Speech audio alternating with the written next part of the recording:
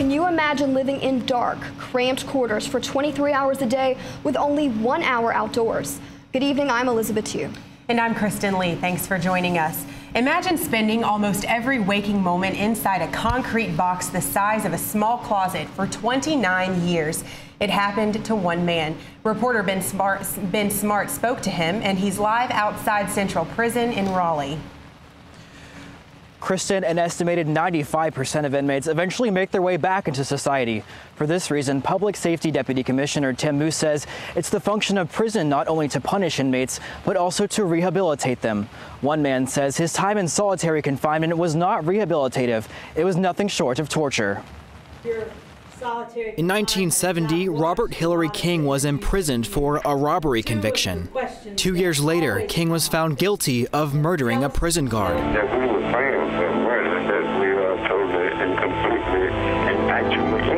Courts lengthened his prison sentence and sent him to solitary confinement.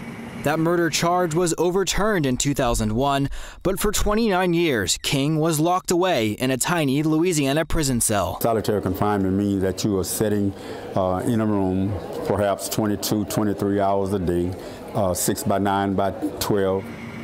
In the heart of downtown Raleigh sits Central Prison. Prison guards escorted us through winding hallways and six automatic metal doors. Finally, we reached what guards call restrictive housing, solitary confinement cells. Prison authorities send inmates here to punish them, to protect them, or to maintain prison order.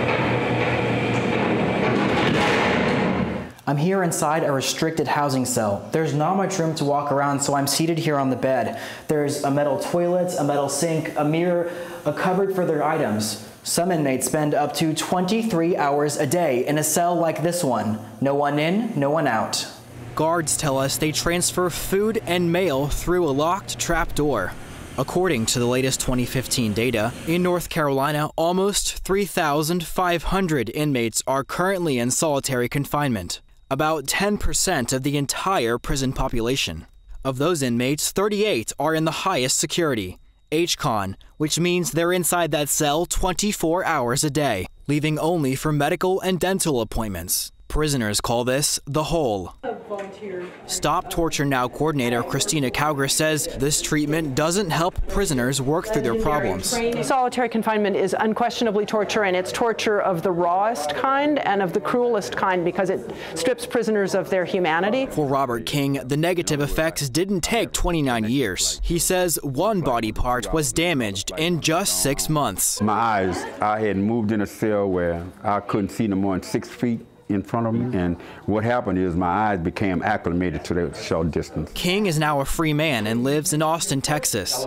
He says his life's mission is to campaign against the abuses of the criminal justice system. But for thousands of other prisoners, time in solitary confinement continues. They tell me, well, why aren't you crazy? I let them know, wait, I didn't tell you I wasn't crazy. But I don't think nobody can live through that 29 years in solitary confinement and be sane. The fact that it doesn't appear that I'm impacted, I'm greatly impacted by it.